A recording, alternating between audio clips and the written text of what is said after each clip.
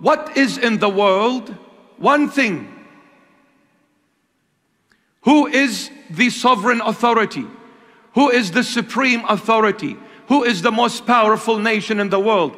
Look around you in the world. Why is America doing what America's been doing for all these decades? Because they want to maintain their supremacy.